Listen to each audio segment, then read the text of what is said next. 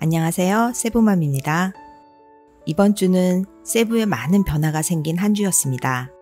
오늘은 세부 코로나19 확진 환자 상황과 강화된 지역사회 격리로 인한 분위기에 대하여 얘기해 볼까 합니다.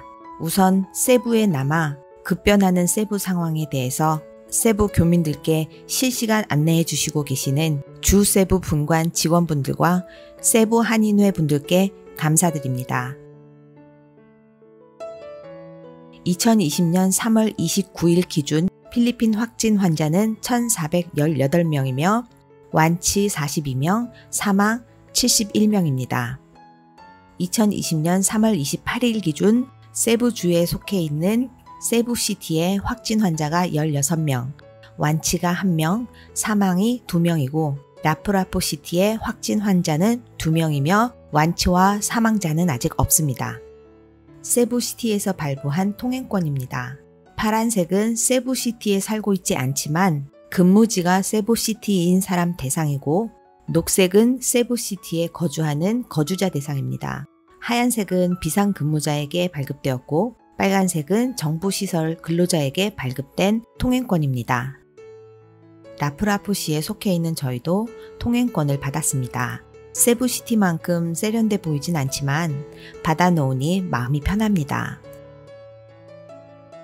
한 가구당 두 명의 이름을 적어 놓을 수 있지만 외출 시는 둘 중에 한 명만이 가능합니다.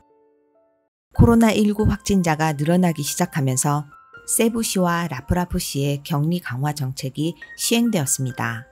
세부의 가족 또는 지인이 계시거나 세부에 살고 계신 분들은 걱정이 많으실 텐데요. 일부분의 자유가 사라지면서 왠지 공포 분위기가 생성되는 것 같아 이번에는 현재 세부의 분위기에 대해서 얘기해 볼까 합니다.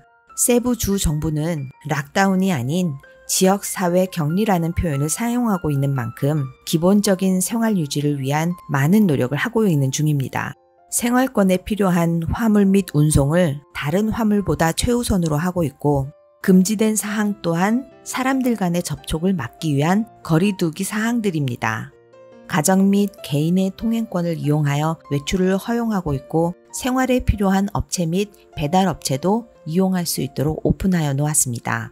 물론 확진 환자가 늘어나고 있다는 건 위험한 일임에 틀림이 없지만 그건 전 세계가 마찬가지인 것 같습니다. 필리핀이 한국보다는 후진국이고 세부가 마닐라보다 발전이 느린 건 사실이지만 한국보다는 강화된 거리두기를 실행하고 있고 마닐라보다 격리 강화를 신속히 실행하였기 때문에 확진 환자의 증가를 좀 더 빨리 안정시키지 않을까 하는 세부맘의 개인적인 생각을 전해봅니다. 현재 세부는 움직임이 제한되어 있어서 생활이 조금 불편해졌다는 것 빼고는 무서운 분위기는 없는 것 같습니다.